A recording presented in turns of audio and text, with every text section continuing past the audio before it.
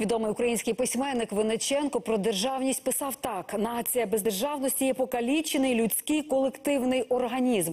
Як і для кожної людини, найперша потреба зберегти своє життя, забезпечити його розвиток і передати спадщину наступним поколінням. Так і для нації держава найкращий засіб збереження життя та розвитку. Якщо і не формулювали так, то підсвідомо відчували потребу у власній державі, державності наші предки, великі гетьмани України. Вони боролись за неї, помилялись, розчаровувалися, але точно любили її більше за життя. Про боротьбу за Україну в часи великих гетьманів цю сторінку історії в День державності згадає Ольга Читайло. Чигирин, Батурин, Глухів три гетьманські столиці, Тут жили козацькі родини, і тут жила еліта. Пам'ять про які Росія досі намагається стерти. Вони е, хочуть відчувати себе вище, можливо, нас. Ми побували у кожному з цих міст, щоб розповісти, як формувалася українська державність. Дуже часто звучить такий вислів, що України ніколи не було. Перекреслити ці думки хочеться ось цією ксерокопією. Ми у Чигирині гравюра, яку зараз розглядаємо, називається Народи Європи. Тут біля цього столу є ще і козак. А це означає, що з цим військом в Європі рахувалися. Малюнок датований 1652 роком. Козацькій державі створені Богданом Хмельницьким на той час три роки. Її столиця у близькому для гетьмана Чигирині. Боротьба за державу і державність тривала. Хмельницький активно шукав союзників. Так і уклав ситуативний на той час союз із Росією. Хмельницький не надав великого значення цій угоді. Він вбачав у ній лише військову тимчасову угоду.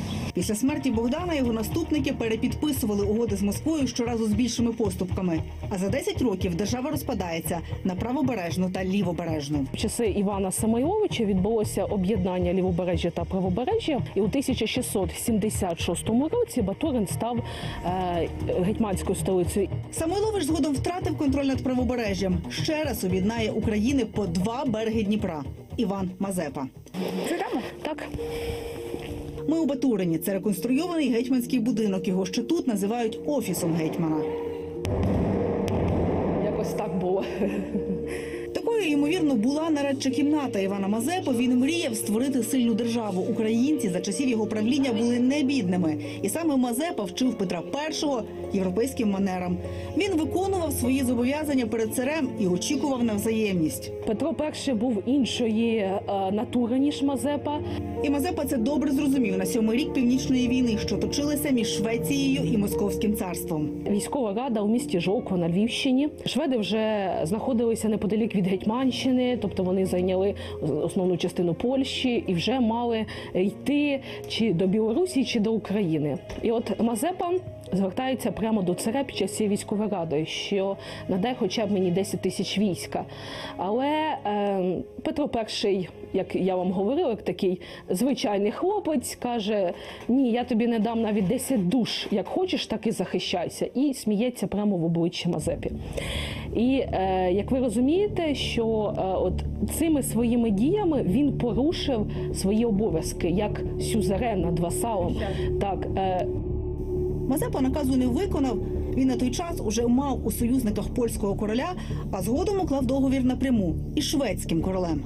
За цим договором е, ми можемо говорити, що король е, визнавав існування української держави. Скориставшись моментом, коли Мазепи не були в Батурині, російський цар вирішив вдарити йому у серце. Був наказ будь-яким способом взяти місто. Ми спускаємося у підземелля біля Батуринської фортеці. Цей тунель 15 років тому розкопали спеціально для цього запрошені донецькі шахтарі.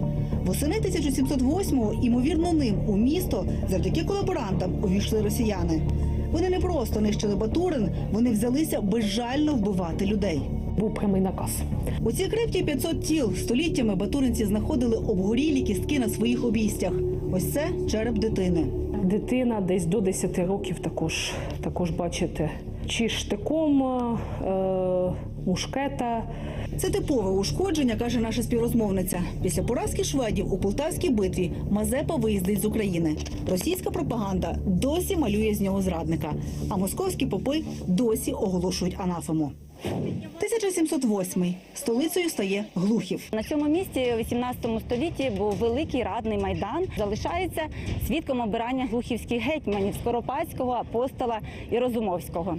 Кирило Розумовський був останнім. Прийшов до влади у 22 роки за протекцією. Його брат Олексій був фаворитом Єлизавети Петрівни.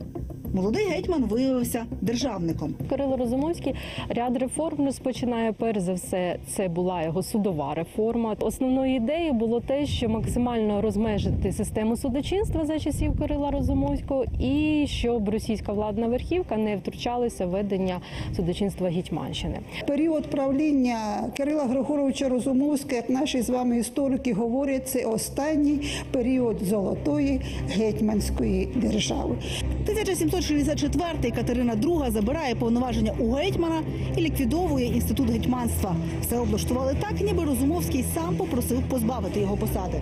У музеї у Глухові зберігають копію указу Катерини II. От вдумайтеся в слова. Мы, видя его, графа Разумовского, немалое по справедливости обременение и снисходя к его прошению, уволили его от чина гетьманського. За 20 років після цього Глухів згорить під час великої пожежі, і сталася вона не випадково. Є версія, що був навмисний підпал, і за наказом Катерини відбувається оця пожежа, і вже потім поступово розбираються багато храмів глухівських, було розібрано. агресивність московитів, я так думаю, і їхню підступність. Вони намагалися за рахунок нас звеличити себе. Коли наприкінці 90-х у Глухові відбувалися розкопки, то знайшли горщик зі спаленим зерном. Ймовірно, воно збереглося часів пожежі 1784 року. І коли цю пшеницю готували до експозиції, одна зернина проросла. Музейники вважають це не просто диво, а символ того, що Україна, не зважаючи ні на що, відродиться. Ольга Читайло, Максим Костенко, Факти ICTV, Єдині новини.